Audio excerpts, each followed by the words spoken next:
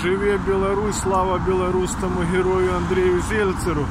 И вот министр внутренних дел Республики Беларусь при лукашенковском режиме не замечает нарушений законодательства так называемыми нелегальными иммигрантами, а по сути боевым таким ударным молотом режима Лукашенко по демократическим странам.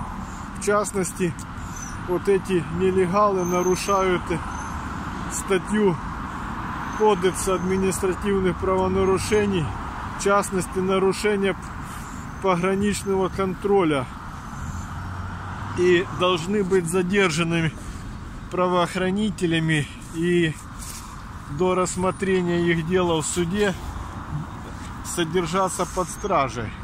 Так что я считаю, что режим Лукашенковский и в частности министр внутренних дел причастны к подрывательству, содействию и нарушению приграничного контроля в Беларуси.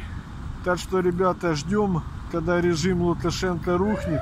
И вот эти все статьи, которые из этих самые минимальные, будут повешены на шею вот этих, вот этих преступников.